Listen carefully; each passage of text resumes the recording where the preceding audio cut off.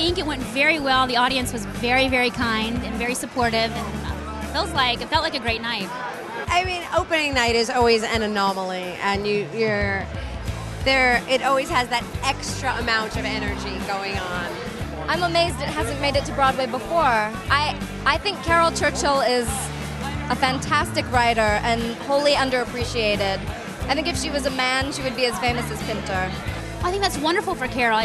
You know, she's had a, a, distinguished career. She's very well respected and very much produced.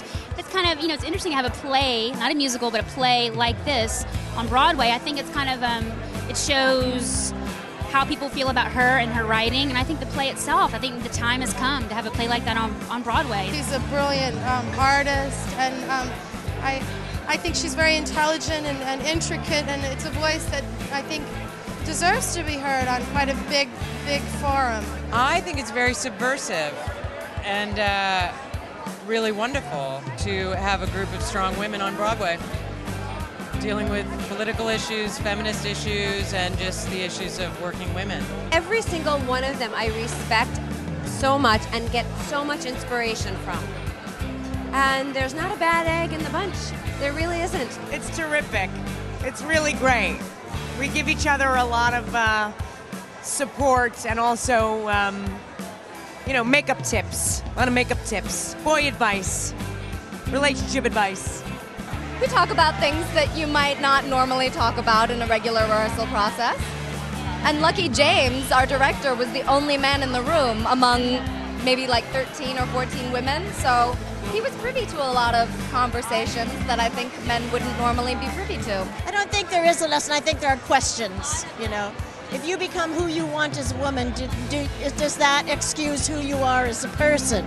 I hope that, that there will be a, maybe a, a, a, deeper understanding of what the, the, as many questions as, as, a man faces in his life, many choices and options, a woman's got a whole bunch more, and it all factors into each other. It's, complicated life being a woman trying to have a job.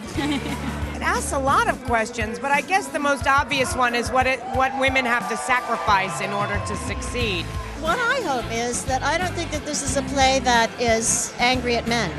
I don't. I don't. I don't think it is influenced in that way really at all. I think it's a sort of examining um, a social system. Um, the, the early the Thatcher years and what those kinds of ideas were about um, power and what, what women could be in, in that venue. I really think that this play is accessible to everyone, no matter what their gender, um, because ultimately it's about it's about real people, real flawed people. Every character in this play is flawed. You know, that's a universal thing to take away, not just you know gender specific.